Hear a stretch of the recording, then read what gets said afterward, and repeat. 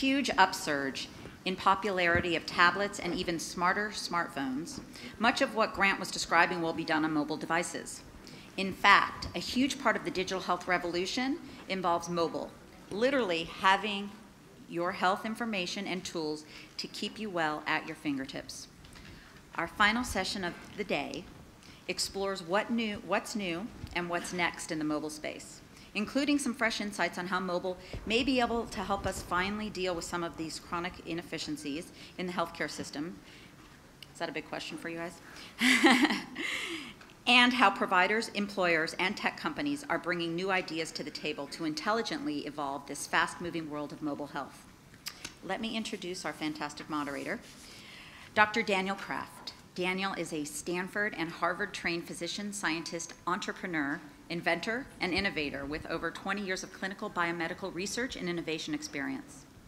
His expertise and multidisciplinary experiences has led him to chair the medicine track at Singularity University in Silicon Valley and serve as the executive director and curator for FutureMed, focused on leveraging exponential technologies in health and medicine over the next decade.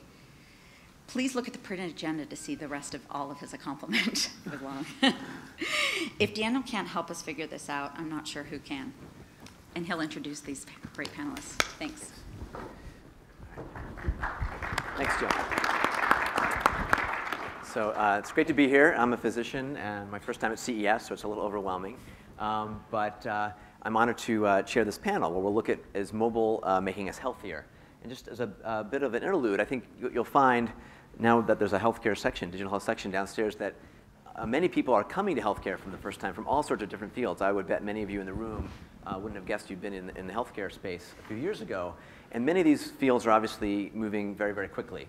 Um, and one of the big opportunities, obviously, it's been spoken about at several of the panels today, is to get away from the realm of, of sort of pay for, fee-for-service uh, uh, medicine where we're putting in stents or paid to do biopsies, sort of the era of um, what I call uh, reimbursement-based medicine, and get to this world of evidence-based medicine and shift the curve to the left, where we know if we spend more of our resources, energy, gamification, et cetera, uh, we can make a huge difference on lowering the, the huge burden of healthcare costs that are coming downstream. So, and, and many of the technologies, particularly mobile, have the opportunity to move this curve to the left. Many of these technologies are obviously on this exponential realm. Um, we heard uh, this morning from Life Technologies about their now $1,000 genome that's dropped at double the rate of Moore's Law in terms of price and performance. And many of these things are actually crossing and enabling mobile technologies from the technologies we'll hear about, like the, the Fitbit and others, are, that have shrunk, shrunk things at an amazing rate uh, and brought them to a price point that every consumer can mostly afford. afford. So exponentials are increasingly important to understand. And I think I would challenge the audience to think about where will the next technologies, let's say the iPad 3 and 4, uh, or the, some of the devices we'll hear about, what can they do in a couple years based on these trends? Um, so many things are getting faster, smaller, cheaper, and better. Um, and across the board, these can be leveraged into healthcare. Obviously, I think the example we're all most familiar with in the mobile space is the phone. That used to be really cool.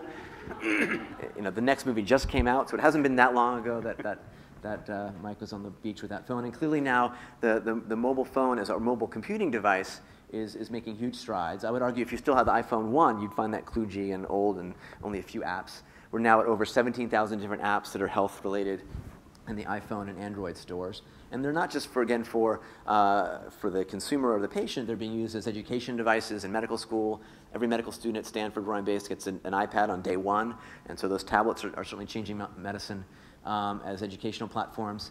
Uh, as mentioned, I've sort of had a fun hat to wear during the summer. I chair the medicine track at a new program based at NASA Ames in Silicon Valley called Singularity University. It really focuses on taking people out of their normal domains and cross-training them. It was co-founded by Ray Kurzweil, the well-known inventor and futurist, Peter Diamandis, a physician who started the X Prize, and, uh, and what we do is take folks from across different fields in AI, robotics, nanotech, biotechnology, medicine, um, space, energy, computing, and look at where things are heading, particularly and how they can be leveraged together to address major problems, whether it's pandemic disease, for example, or poverty or obesity.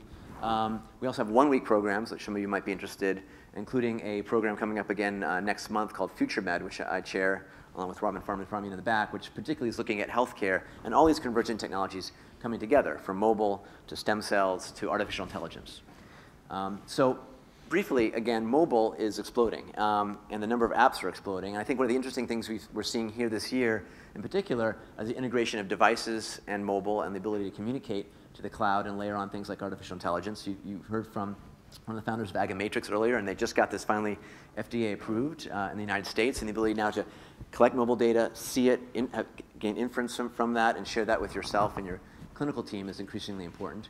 And this whole slew of devices, often in the consumer realm, has been uh, summarized in the field of quantified self. It was a small movement in the Bay Area, and now there are chapters around the, around the world, um, starting out sort of like uh, with the early Apple pioneers in the garage, making small devices that now are, are crossing the spectrum. Uh, and you see many of these, many of them are here. And the challenges we'll talk about in the panel is how to bring these together and make them not just data, but actionable intelligence. And clearly now, as we imagine, and you heard maybe yesterday, uh, the era of the tricorder is uh, becoming potentially a reality. Uh, Qualcomm announced a $10 million uh, X Prize uh, for essentially a tricorder to enhance and essentially give the power of a panel of physicians at the point uh, in, in the home. So be looking for that prize, and, and maybe some of you will be competing in that. So in summary, from my perspective as a clinician and innovator, I see mobile really starting to empower the individual um, in many ways that we've heard about today, enabling the clinician uh, potentially start gaining insight from the data and the information, not just the data that's being provided by mobile, and to improve a whole realm of, of technologies from the way we do clinical trials, the way we can track uh, particular diseases, chronic diseases, and importantly, prevent things. I think from my view, uh, we can enhance uh, uh, wellness and uh, be very pre preventative through these. So with that, um, I'll introduce um, our panel, and, and we're going to hear from each of them briefly and then mix it up and hopefully with the audience as well. Um, so our first uh, panelist is James Park, who's co-founder of Fitbit, perhaps probably the best known consumer device, wellness device that I've been using for a couple years. And um, they've had some exciting developments and announcements even here. And I'll let, I'll let uh, James take it from here. So, James.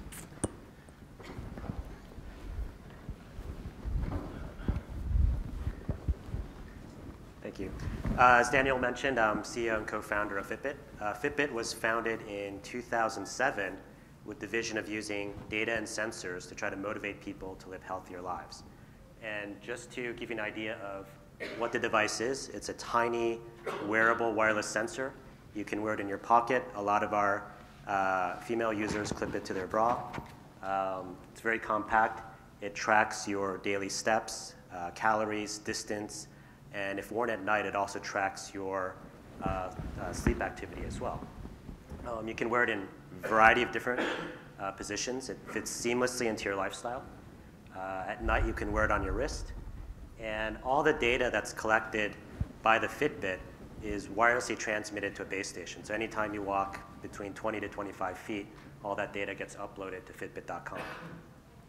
On the website, we try to give people a comprehensive dashboard of their health so they can see how many steps they've walked, distance, uh, win badges for various accomplishments if they've walked 20,000 steps a day, 25,000 steps a day, et cetera.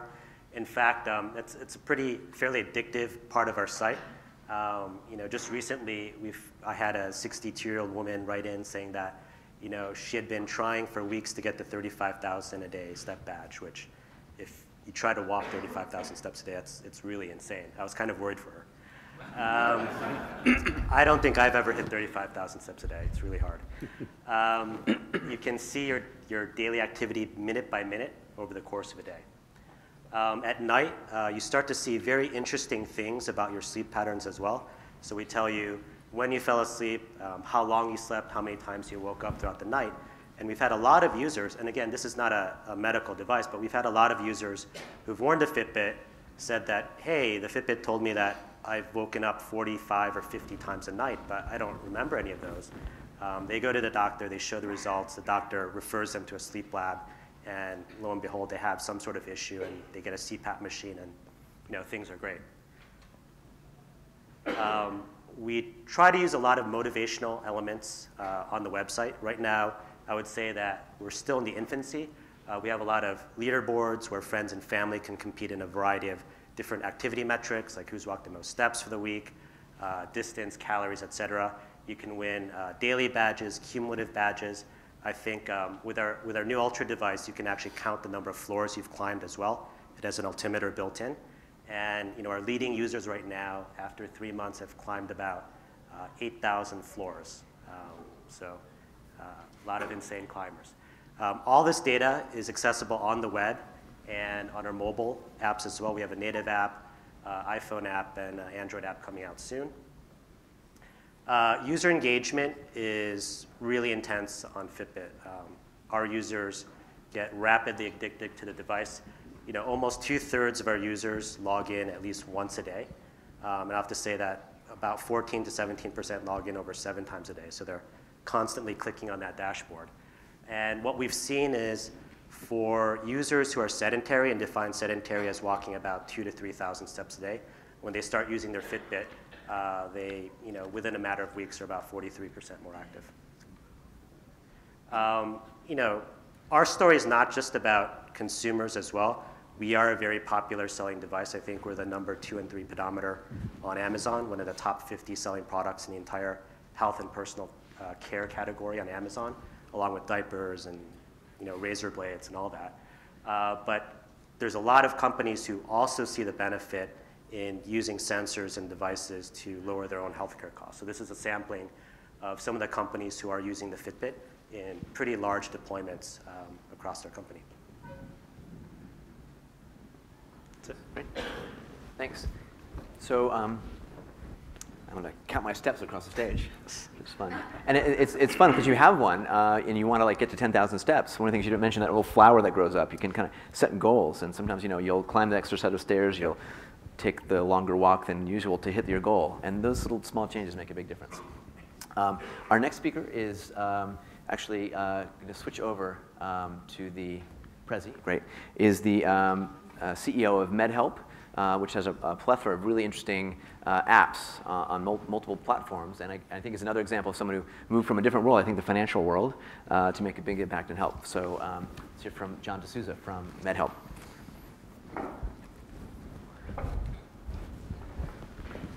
Thank you. I'm the CEO of MedHelp, and, and uh, we're the largest online health community and leading provider of uh, mobile and online health applications. Now, there are a lot of sites online that give you health information that tell you what diabetes, what asthma is, or any of the other conditions. But what we've done is we focus on how does it apply to you. We focus on delivering personalized health information so that if you find out you're pregnant and that you have another condition, diabetes or some other one, how does it apply to you? So we built a full pl uh, platform to deliver that. And the way we do it is through three different things. Uh, we have communities on the site, we have uh, experts, and we have data. Now, on the communities, we connect people. We have 12 million monthly users coming into the site and connecting around conditions. Uh, we have experts. We work with many of the top hospitals. We have seven of the top 10, all the Johns Hopkins, Cleveland Clinic, Mass General, Harvard, where you can go through and actually ask your personal questions to the doctors for free. Very unique resource on the site. Uh, but I'm not going to focus on those. If you want to talk about that, I'm happy to talk about them later. I'm just going to focus on the data aspect. So what got us into the data aspect is went to our users and a lot of interest around PHRs. And so we asked our users, uh, you know, are you interested in PHRs? What can we deliver to you? And we got back this resounding message, you know, we're actually not interested in PHRs. So we came back and go, okay, that's not a very compelling uh, value proposition. What they wanted instead is they said, there are conditions that we care about, and can you help us with those conditions? So what we did is we worked with them and with our doctors to create a full suite of online health applications across uh, about 50 different conditions. Now all these are connected with each other and you can go through and, and use them. Uh, but for example, if you go through and track your pain, you can go through and track location, intensity of pain, and then go back to your doctor and play it back to your doctor like video. And the doctor can very quickly see what has happened to your pain over the time. Or if you're going through and tracking, say, diabetes, you track your diabetes, and we'll actually give you these dashboards that you can take your doctor, again, tell them what's, uh, what's happening out there. What's interesting is on the back end of this, all this data goes back in and it feeds into a PHR. So our first realization is that you know, PHR is not what people want, but it's the outcome of doing what they want. And so we, we went through and did that. So after going through and doing this, is, I'd like to tell the quick stories. I went over on a trip to India, and when I was in India, I took a rickshaw and asked the, the you know, person, the driver asked me what I did. I said I work at a company called MedHelp. He goes, yeah, a very nice site. I go, really? I go, what do you mean? And he goes, yeah, yeah I, I, use it all the time for my phone. So he showed me. So he goes, pulls the rickshaw over, shows me how he accesses the phone from the, the site. And it was a you know, big revelation. So I go back to the company and I tell everybody, you know, we've got to go and start doing a mobile optimized site here. And they're all skeptical. They go, yeah, go do a trip to India and come back with these great ideas. Uh, but we went through and we did the, and this is a, a, few years ago, we went through and did a mobile optimized version of the site, and our site started, uh, traffic started growing very rapidly, but the data entry grew exponentially. So with that, we went through and we started building a full suite of, uh, of condition-specific applications across both the iPhone and Android platform.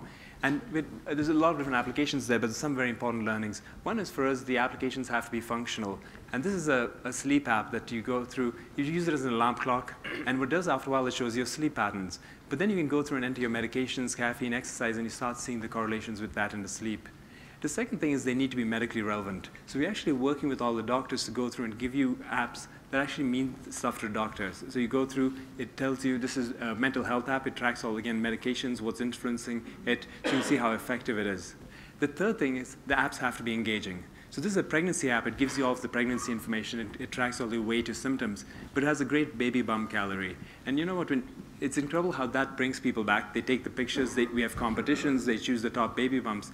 But in reality, if people don't use this, it's completely useless. So you have to find out what it is that gets them engaged to come back, because then you can get the information that's medically relevant to the doctors. The other thing we learned also very quickly is that you have to be cross-platform. So this is, uh, this is our uh, My Diet Diary. You can track your exercise, fitness. Uh, you can take pictures of your food, scan foods in. Uh, but you can also access the data in any of these apps from multiple platforms. So this is the same data accessing from a Chrome app. And what we found out very quickly is the way people use the different applications or the platforms is very different. An iPhone user is actually different from an Android user, and we've gone through and sort of done the, the differences with those. Uh, on the back end of this is a lot of data. And the number one thing on our site is people want to know is, am I normal? How does my data compare to a, a, a comparable peer set? So we let people go through, find comparable peer sets, and compare their data to those people. We're also able to get great health insights, and we've published multiple uh, uh, papers with the hospitals. Uh, this is all the pregnancy symptoms for every, every week of pregnancy. And they didn't have accurate symptoms for the first two weeks of pregnancy, but we could retroactively go back into the, uh, into the ovulation calendars and, and get that data. So you know, this is really powerful. And I, I keep saying, I went back home and told my wife, you know what's incredible? Just by looking at the changes in symptoms, you know, we can tell when a woman's pregnant before she knows it. And she looked at me and goes, You know, only a guy could say that. I didn't get much credit for that. Uh, and this, we can also take the data and aggregate it. We can aggregate it on a local, regional, and national level. What's incredible with this is if you look across the country, on average, people exercise 44 minutes a week. So when, on a few weeks ago in NPR, they were talking about to get sustained weight loss, you need to exercise for 60 minutes a day for six uh, days.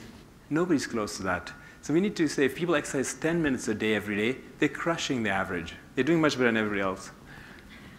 And then finally, the number one thing that people want to go through on the site is connect with doctors. And we're doing two things. One, we're taking the data on our site and giving doctors uh, a view on it. And when you talk to doctors, they say we have even less interest in PHRs than, than you know, patients do. You put this great information in there. But for them, it's a liability. You show them a huge PHR, there's too much data in them, they have no interest. But what we do is they say if you can filter that data to what's medically relevant and uh, filtered for our specialty, we actually care about it. So we go through, this is a, a view where we take it, show them what, what they can act on. We can do a second phase actually where we pull out the data from the uh, EMR that's relevant to the patient and let them leave the hospital with it. One last thing I'm going to touch on uh, is just the connected devices.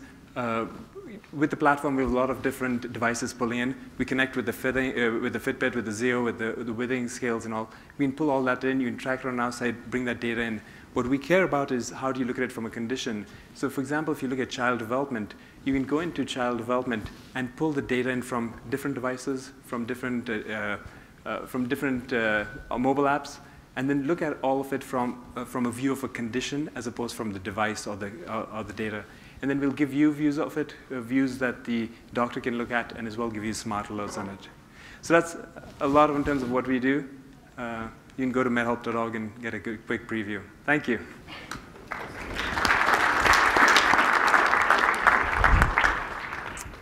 Terrific. And I, and I, would say from the perspective of a physician, those sorts of apps when we take them from being pure consumer and tying to the clinician, can start giving you those feedback loops. So I want to find out what my patient's blood glucose or blood pressures are doing. Those things can be very valuable in, in tuning things up.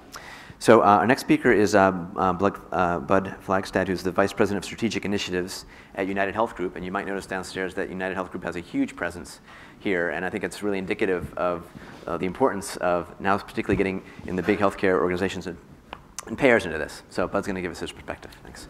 Thank you, Daniel.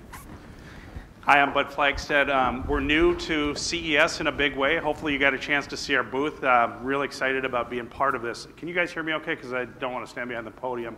I want to keep moving because I have a Fitbit on and I want to play cards. So I have to get to my 10,000 steps or I'm going to be in trouble.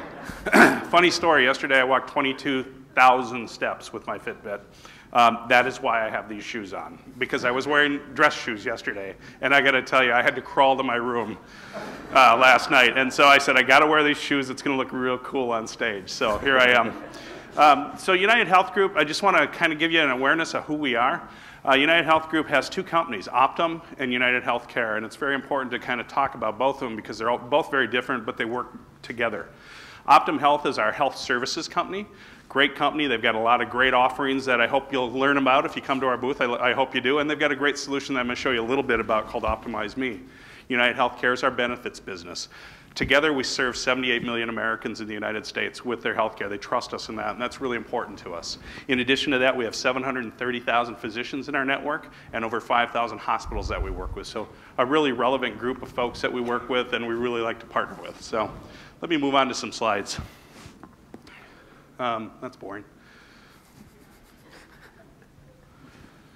Okay, so on average, Americans spend 2.7 hours a day socializing on their mobile device. So think about that, and I want to bring that into this discussion as well. Not only do we need to collect the, the, data, but we have to figure out how to make it a social interaction with our members. So in my own personal case, we're doing a, um, so, so I work in the innovation and R&D team at United, and we try experiments on ourselves. And uh, some of them go really well, and some of them go very interesting. Right now, I'm working on one called Weight Loss in a Box. Um, and it's a social solution using the Fitbit, um, OptumizeMe, our application that I'm going to show you, and then Fit, uh, uh, Lose It on top of the Withings Scale as well. So we're tying all this stuff together.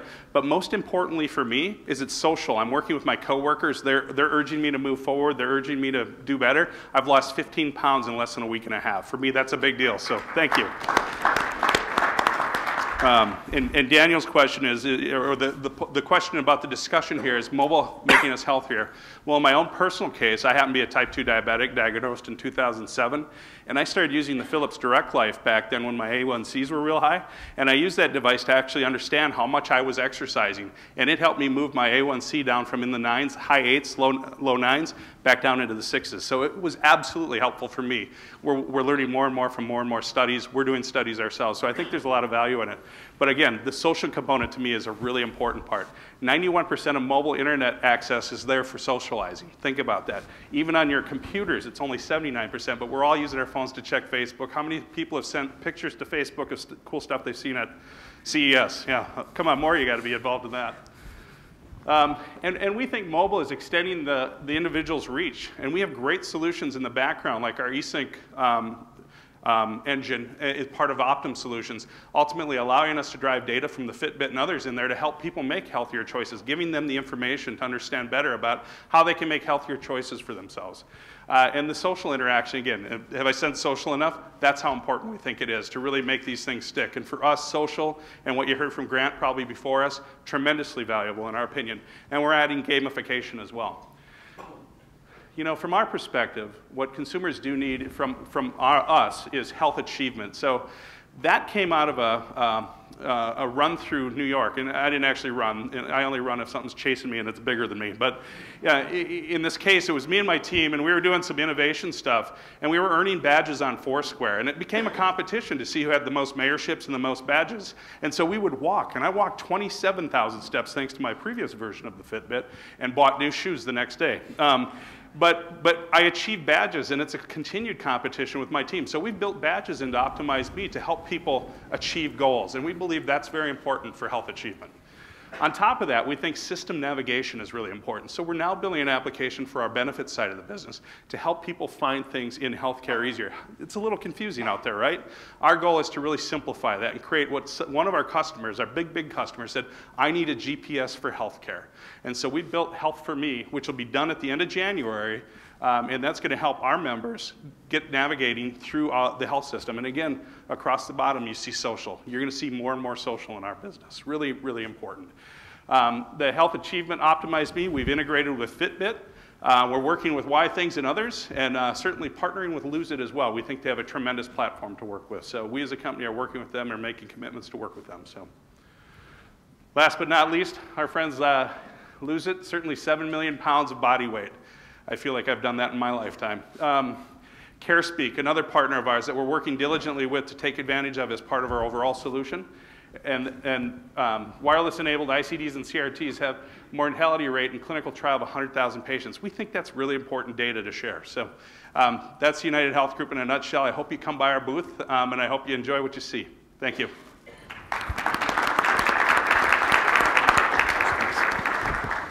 So we've heard about some consumer tech devices, apps that tie them together, some of the payers getting involved in this. Finally, I think there's an opportunity um, to pull all together almost uh, uh, the, the, whole backbone. Um, we heard from Ford, I think, during the keynote. I often make the analogy, it was from Don Jones at Qualcomm about the OnStar for the body. All these pieces integrating together, have that check engine light come on, that can make the whole thing work uh, much more effectively. And um, uh, Verizon is a company that's really starting to put all the pieces together. And so we're going to hear from um, Scott Kozicki, who's uh, the, uh, from the New Market Development Group at Verizon Wireless.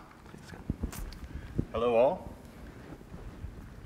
Apparently, if you're uh, at CES, comfy shoes are a requirement. I want to start off with a little bit more sober tone. Um, because I think there's some amazing things that are being done, and clearly at CES, it's a, it's a great place to see all of this energy and fervor around apps, devices, tools that people can use to better engage with their health, understand their health, uh, and, and act upon it.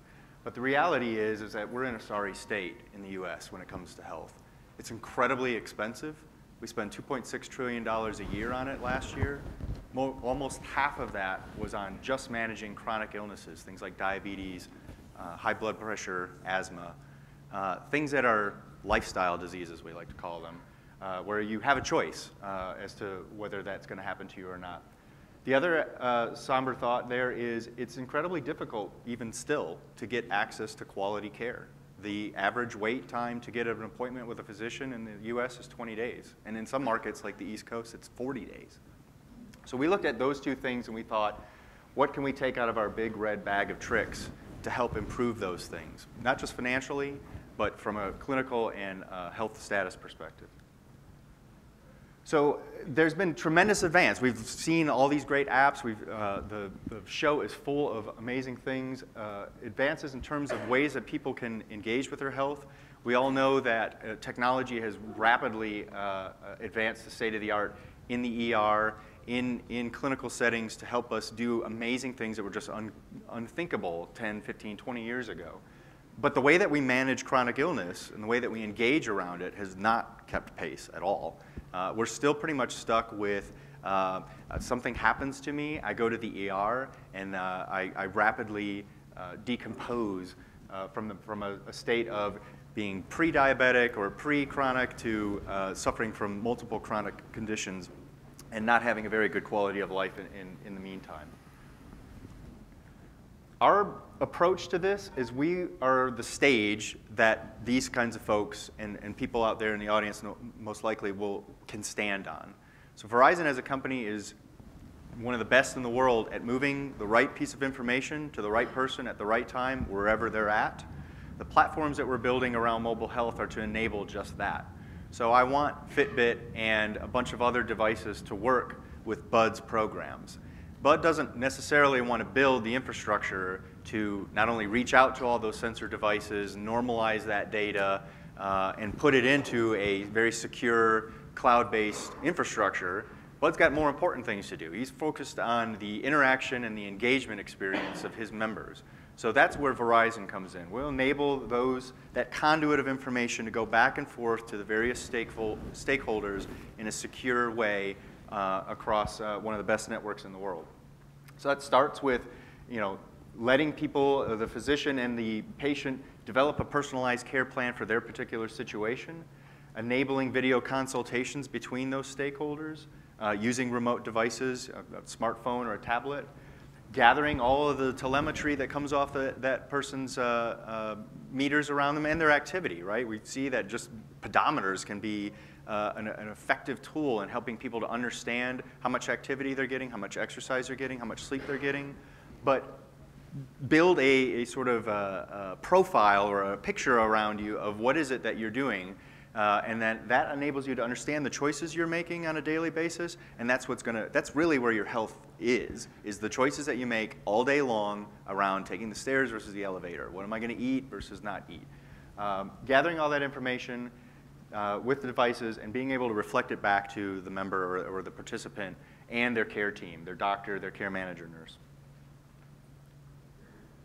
And we're stuck. There we go. Um, so I mentioned that you know what we really bring uh, is the ability to move that information back and forth. I'm giving the member and the clinician tools to interact with that information, and I'm moving it through a you know, world-class, uh, secure, cloud-based infrastructure so that they don't have to worry about uh, is it always going to be available? Is it always going to be on? Am I, am I going to be able to get that data where I need to? And putting it into uh, context that each of the stakeholders can act on it, right? I don't necessarily want to take all of my glucose readings to my doctor on a quarterly basis and say, look, this is what I've been doing for the last 90 days. What the doctor really cares about is, have I had any adverse uh, events or, or, impacts? And then where am I trending relative to my care plan? Am I doing better towards my care plan, or do I need a little bit more nudging, coaching, assistance to get to those goals? So it's not just about moving the, a piece of data from point A to point B, it's also reflecting that or refactoring it in a way that that person, that stakeholder can act on it. And that's really what we're focused on with our platforms. I'll give you an example. Uh, disease management is a, is a not new concept, but in terms of mobile, I think it can be very, very powerful. I talked about the incredible cost of chronic illness on our, our economy and our society in general. Well, using all these devices, if I'm a diabetic or I, I suffer from hypertension, I can get a reminder on my phone in the morning, hey, make sure you weigh yourself. Make sure you check your glucose before breakfast. Make sure you take your medication.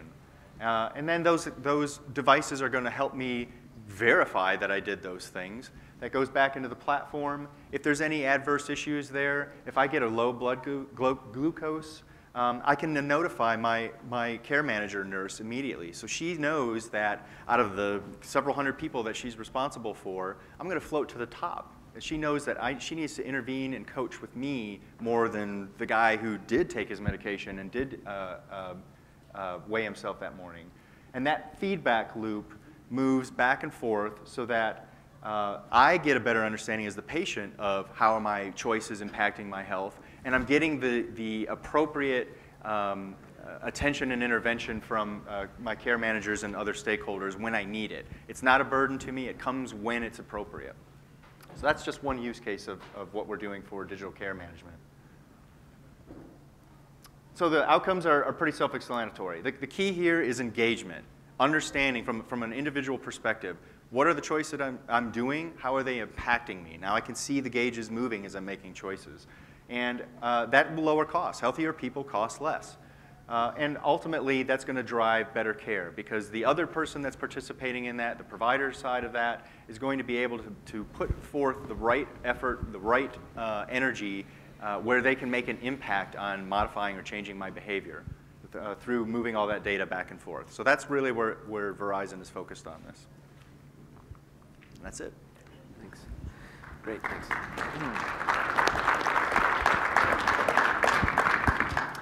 So mobile is still relatively a young space, and I think uh, many people are looking to move into it. Um, I'm hoping maybe we could share some sort of uh, war stories and lessons learned. What are some um, maybe uh, distinctions that um, being in the realm uh, as sort of early players uh, you've taken away? And uh, so, you know, James, you guys just announced a new scale as well, and maybe what did you put into that that you didn't put into Fitbit first? So uh, we just announced the Aria Wi-Fi Smart Scale, um, and that's added to our ecosystem. So not only people can track their activity and sleep, but also their weight and body fat in one dashboard. And I think you know some of the, the main things we took away in development of the, the scale is one, making the setup process of the device extremely simple. I think um, there's a lot of people out there um, who just run into problems with devices that are too complicated. Um, the second issue is you know, the issue of how do you get this data uh, up to a service that's you know, residing in the cloud or hosted somewhere. Um, with the original Fitbit, know, there's a base station that's plugged into your computer, but you know, it works well, but it's not as seamless as we would like it to be. So with Wi-Fi, we're able to directly connect you know, to our service, to your home Wi-Fi network. And that's actually, you know, one of the, one of the biggest things we worry about with every product we, we, um, we have planned is how do we get that data up to the cloud? And it's not easy. There's a lot of trade-offs with Wi-Fi. You know, it's, it's simple, but it burns a lot of power, which in more space or resource-constrained devices, you know, you just, you just can't tolerate. John, lessons learned? You know, for us, we're very user-centric, and so we always spend time going back to the users. And uh, we did a great session where we spent time with the users and, and asked them for feedback on all these apps that we've developed and, and got a few things back. One, which was great, very insightful, is uh, a user who stopped using one device and she said she was using it for tracking running, uh, got injured, and then started swimming. And she said, when I was swimming, my avatar on this site started dying because I wasn't running. And she goes, look, I'm, I'm working my butt off swimming, but my avatar is dying. I hate this device. so she said, look, I'm not one-dimensional. And you have to realize health is not a one-dimensional product, and you need to work them across dimensions. The same thing that they got back to us is, don't make me work. You know, there's often the belief in health that, look, you're sick, you should be willing to work, it's your health. And consistently we go, don't make me work, make it easy. Third one that they came back to is speak my language. You know, communicate to me in a way that's very easy for me to understand it. Because often you get somebody, you do a cancer app and you put all these terms in. And this woman was saying, look, you know, I, I found out I have breast cancer and the first thing to go is, you know, metastasize. And she goes, I don't know what that word means. And if I don't understand it, how am I going to communicate with my family? And she goes, why can't you guys just speak to me in a language I understand? I'm it's, it's bad enough that I'm sick, and then you teach me a new language on top. So, so there's the third. So I think as you go through this, there's a lot you can learn from the users because you know they know what they want, and if you start off with that, you end up with uh, with apps that are a lot more useful to them.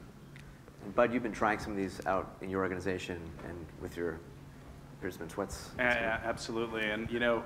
Uh, well, well, first off, um, making it simple to use was really important aggregating the data from multiple services into a single point for people so they aren't logging into six different places. And so our integration of the Fitbit solutions has been a fantastic add to the OptumizeMe platform, which we shipped yesterday. So if you have an iPhone, please download it and try it out. Give us your feedback. We'll, we'll take it and we'll make it better for sure. Um, and, and, then, the, again, I'll harp on it a little bit, but the social component, and how valuable that has become for us to really stay on top of things and to, to create cool achievements. And when we watch um, on OptumizeMe 1.0, uh, groups of three people getting together to do challenges, significantly more successful than somebody doing it by themselves. And, and, and the unique stuff that we learn from the challenges that people create, and we curate those, so you can't create a drinking game uh, in the OptumizeMe app. Um, but, but, but we learn a ton from consumers, which is why we're here, and, and, and, and really learning and feeding that back into the next design of OptumizeMe 2.0. For a company who spent a lot of time selling directly to you know, employers, it's really important for us to really understand what the consumers want. So. And you're, you're very much looking, though, uh, at sort of the ROI a lot from a lot of these things. One of the things, the question from the panel is, you know, is, uh, is this making us healthier? Right. Um, there's obviously some things that are weight, hemoglobin A1C. Is there any other, other particular metrics from, from your sort of perspective? You know, right now, Daniel, those are the things we're focusing on. We're trying to understand the consumers. It's so early. Um, and I think what's going to, so I'm, I'm very fortunate to be in a team where I don't get pushed for ROI right away, and we get to build these things and try them and learn. And uh, that's the fantastic part about my job, and I, I, believe I have the best job in the company, uh, to really test those things out, and, and, we'll learn from them, and then we'll, we'll fail fast or we'll move forward, and we'll partner with great companies like these to, to help us get better. So. Verizon. So, what there, do you want to know? can you hear me now? Um, is there, is, you know, I mean, well, you've got a, sometimes critical uh, efficacy. Sometimes if it's a, uh, if something's communicating directly to a hospital or physician, there's a, a, backbone that's critical. Sort of, are there lessons that you've learned that you're going to be putting in your next generation systems or surprises that have come about in the mobile space? Well, to address that, I mean, we, you know, we support a lot of mission critical systems in a lot of different industries, in government and finance and in healthcare.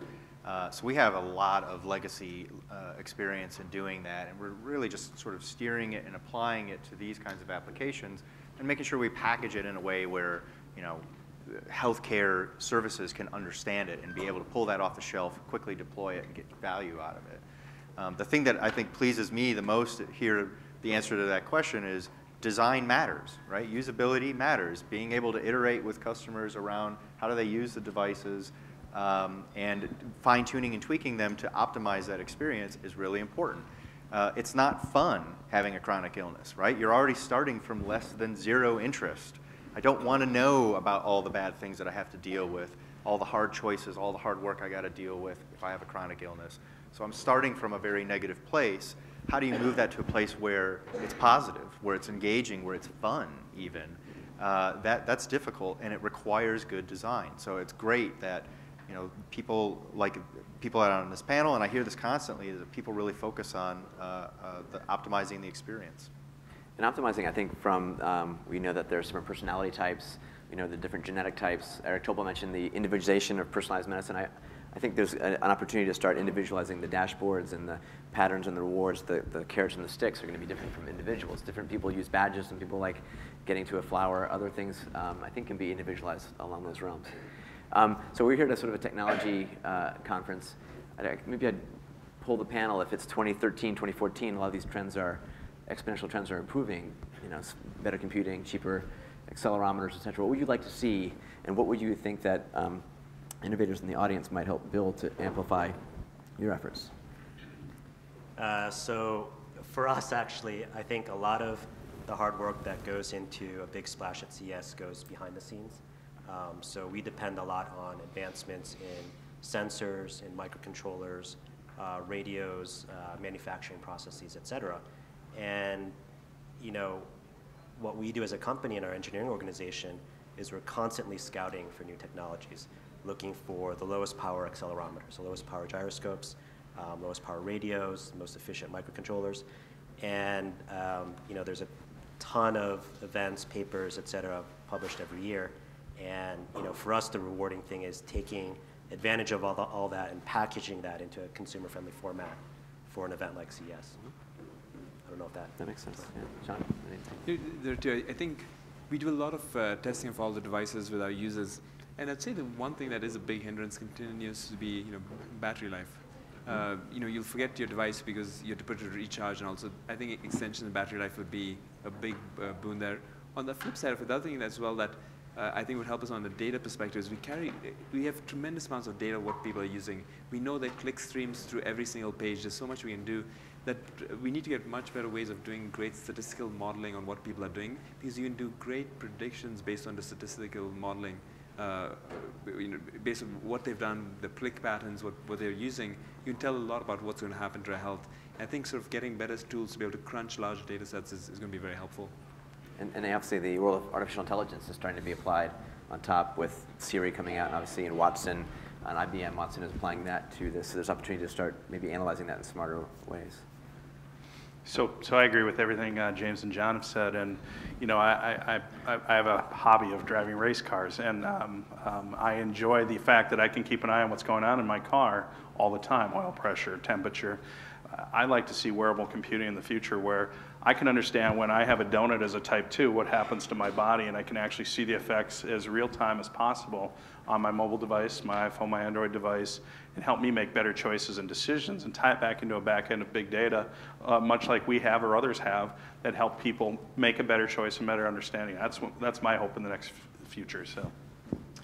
Yeah, I, would echo that. I, I think you had a great slide, which was it showed the old cradle phone um, that's really where we're at with all of this. It sounds funny to say that because we're in a, in a conference where we're seeing things that you couldn't even have imagined two or three years ago, and the pace of innovation and, and technology is so rapid, but we're really just at the tip of this new journey, which is allowing this, this, these tools to better allow me to understand what's going on with my body, how my choices affect that, and ultimately all the financial things uh, uh, that go along with that, the productivity that goes along with that. So I'm optimizing my, my choices, my health around uh, those dynamics. We've just begun. I'm going to open up to the folks in the, in the crowd here. So maybe come up with the mic and I'll just ask you a quick question while people are coming up. Um, barriers. Um, a lot of these things are uh, at the cutting edge. It takes a while for barriers of adoption um, from the clinical side, from regulatory, reimbursement, HIPAA all those sorts of things. Are there sort of barriers you see that really need to start getting knocked down to help enable this? You might have some reimbursement, of course. Sure. I think I think that's the the big boogeyman in the room. I don't think that will stop the pace. Um, it, it, may slow it down a little bit in certain quarters of the industry, but it's certainly not going to stop. There's so much pressure built up right now to try and impact costs, try and reach out and engage with certain populations that it's going to happen regardless. It's just these old financial models that we have might not necessarily accommodate it. Yeah, Medicare, its new mantra is, you know, better care at lower costs, and now with these new accountable care organizations, you won't have to be, you know, these will be bundled in, because you're gonna be rewarded as a hospital or physician care group for keeping people healthier. So you're gonna hand out, you're gonna prescribe apps, or prescribe Fitbits, or scales, or MedHelp apps, um, because that's gonna lead to better outcomes, and the reimbursement part follows. I, I think another key piece is security. You know, with 78 million Americans in our system at United, it's really important for us to make sure that we secure that data for them and all the data that goes along with it. So that's a really important part for us. Yeah. The other issue too is I think the FDA is, is really important, but there does exist a risk of overregulation of these devices and services. And for us especially, um, you know, we're very consumer driven. Um, we're almost a, you know, a web-style device company where we're constantly developing new algorithms, pushing them out live to customers in the field. Um, so I think anything that hinders that, you know, could be, could be a huge barrier. And you, you see a lot of companies talking about actually releasing products in Europe first because it's quicker to get uh, through all the, uh, the requirements out there and then bring it back to the US. So I think there's a chance that even though it's developed here, we may we end up uh, being a laggard because people go elsewhere first to, to deploy them. That's, that's already happening, for sure, for sure. Okay, let's, up there. Hi. Uh, Ed Bosey, I'm a VP of Innovation at uh, Xerox. Uh, I'm an actuary. I've done work in uh, financial simulation, and currently I'm engaging in uh, research regarding health gaming. And one of the things I'm surprised that I haven't seen is anything in the way of uh, health simulation uh, to uh, the earlier example. So, you know, I'm a current weight. Why can't I create an avatar of myself? You know, I, I drink regular Coke. I don't eat any vegetables. And, you know, draw, you know, drag my avatar across the timeline and show how I'm getting fatter, I'm getting older, I'm getting diabetes, I'm having my heart attack, and then the tombstone rises up at age 65. You know, why haven't I seen anything in the way of simulation as a means of educating people about what, what it means, the decisions that they make now, what it means over time? There actually is some of that. Um, uh, if you look at the MIT Age Lab, uh, they actually have a suit that you can put on, and it makes you feel like you're much older. Uh, I don't want Uh-huh. to say a particular age, but it, it, lets you feel how your body would be affected by age and, and by disease. That's also- good. I, I need something web-based. Uh, that's, the, that's what Well, I I'm was- I was going to mention the Visual MD um, also allows a little bit of that. So you, you can kind of change your health status in a real-time way, and it will show you what fat cells look like or what your pancreas looks like uh, in a real-time way. And that, that's a great way to educate Whose product? people. Visual MD. Yeah. That's, okay. One, one element of that is this whole forward-looking feedback loop. So if you want to impact behavioral change, which is really tough, there's a group at Stanford, a, a virtual reality lab that I visited, and you can do a virtual experience, uh, and that can really change your psychology. One of them is basically a virtual mirror. You'll look in the mirror and see what you'll look like, let's say six months later, if you've lost 15 pounds and stayed on your program, or if you keep smoking and don't change your diet. So having that sort of virtual mirror has already been built in sort of uh, in, in psychologic trial basis and can have huge impacts as well as that sort of virtual avatars, your friends socially kind of watching if you tweet your weight. That can be a bit of a mirror. There's a company that's just been launched by the co-founder of uh, Practice Fusion, a free EMR called 100 Plus, I think, and they let you look at what your trends will be as you change your behavior. So that's a bit of a forward-looking mirror. Who is that of- one? I think it's called 100 Plus. Yeah, it is 100 Uh, Chris plus. Hogue? Chris Hogue, yeah. Thank you very much. Hi, uh, I'm Andy Tubman. I'm a music therapist and a co-founder of Musical Health Technologies. And uh, we just literally last month came out with an app that promotes healthcare, I mean, health and well-being, uh, everything from speech to executive function uh, through singing. And the question comes to that I'm looking for our industry. So, the majority of discussion today and over the last year, I've been getting educated about the mobile and mobile industry is all about collection, transferring of data. With our app, we do collect data, but it actually has the process and the exercise in the, in the app through the lines. What other companies do you guys know of that are actually processing it through the lines?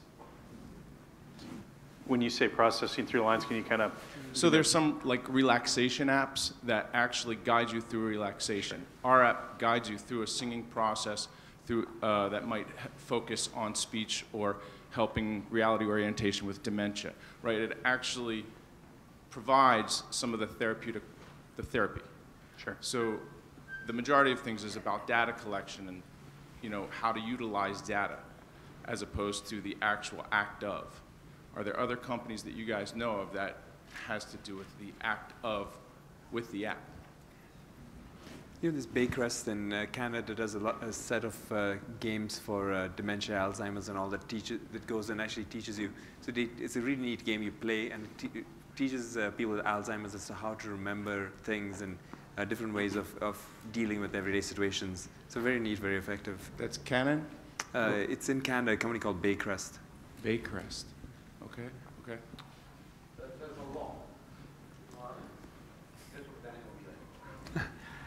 I'll do better. Great. Good afternoon. Uh, Mickey McManus from Maya. So um, uh, last year and, and this year, um, the Chief Technology Officer for Health and Human Services, Todd Park, rela- help, helped release about 400 plus data sets that had never been seen before out of Health and Human Services and you know, opendata.gov. And, and he relates it to this notion of uh, when Reagan released GPS, it became a platform. Everyone had mobile apps that had GPS. Uh, when we released uh, NOAA data, we suddenly got Weather Channel, and it became a platform from public funded by our taxes. Um, so 400 data sets all the way back to 1900, all available free, lots of new apps coming out of it. My suspicion is in five years, we're going to think that's a huge deal, and that became a platform for innovation. How many of you guys use those, that new thing that happened in the last year, and what do you think the impact of that kind of a platform, the same way we got GPS, you know, from, from all those satellites back then? So, so we're definitely using it. Um, I've got a team very specifically assigned to big data. Uh, we've got a giant Netezza box in our lab that we combine and do mashups with the health data. And we're in the early stages identifying opportunities and building actually a, um, an iPad app to test it out as a, a visualization way. So it's, it's great stuff. And uh, I was at um, Healthcare Innovation Day when Todd announced that. And uh, I was, the first thing I did was texted my team and said, let's get on this right away. And I'm really excited about some of the opportunities around it, absolutely. And the mashup with our data. I mean, we've got 12 um, petabytes of information in our company. And, and as we start to bring that stuff together uh, with government data, it's going to be fantastic. And as we partner with other groups, we're, we're pretty excited about it.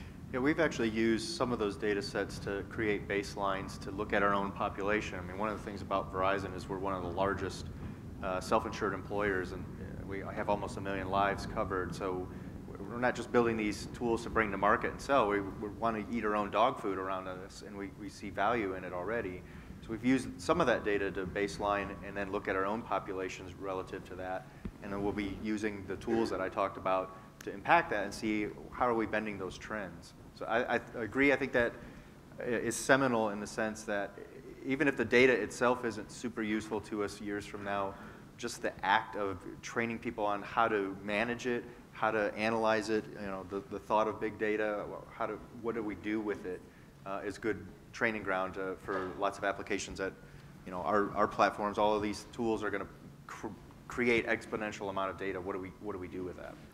Another great example is the USDA basic nutritional data for foods. Um, you know, that data set forms the initial core element of a lot of, you know, expensive commercial databases out there. And, you know, that data powers a lot of the most popular food logging and nutrition apps on the, you know, in iTunes right now. I would, I would probably imagine as you start to crowdsource the data, not only from the government, but from individual apps, um, it becomes the, the issue of sort of systems biology, systems medicine. We can pull it together. It's not just data. We want it to be actionable information that can then in, impact you know, a community, the individual, the family. So lo lots of huge opportunity in the space. Um, I've seen, we got the high, time, high sign from Jill. Oh, we got a couple, actually a few more minutes because we started late. Any more um, burning questions from the audience? My name is Arlene Petrish. I'm with um, EWI Worldwide, a live communications company. I have a question for Mr. Park. I'm wearing my Fitbit. Um, are you going to be um, in incorporating uh, barcode reading of foods with Fitbit like uh, Lose It has, is doing? Um, you know, we're, we're a little less focused on the nutritional aspect just because, you know, we have partnered up with companies like Lose It and MyFitnessPal who, who do it a lot better, um, and we've integrated with them through our API. I'm personally a little skeptical of barcode scanning. I hope that doesn't, you know, discourage you, but I think a lot of our users, um, they don't eat a lot of packaged foods, And in the cases where they do, where they're eating prepared meals, um, et cetera, it's fairly easy for them to, to just punch the numbers. But, you know, if, if you want to provide a counter opinion, I'd, I'd love to hear it as well after the panel. And and there is a pro- a proliferation now of these sort of food tracking apps and even the ability, to- we heard from the prior panel about food-related technologies. So that's sort of bringing mobile to the, to to the diet industry. And one thing I'll say quickly on the food tracking, we, we launched this app called Pick Healthy for people who just want to take the pictures of it, and then it's back, it crowdsourced on the back end to find out how healthy the food is. So if you feel like doing nothing else, just take pictures of your food. It tells you within seconds, all these people tell you, you get the data back. It also allows you to, you can put in what you think it is. It compares it to what they do and gives you honesty points. So if you eat the donut and say it's really healthy and everybody goes, no, you get a negative honesty points for that. Great. With that, I think we'll thank the panel, and it's great to be here. Thanks. thank you guys. Thank you.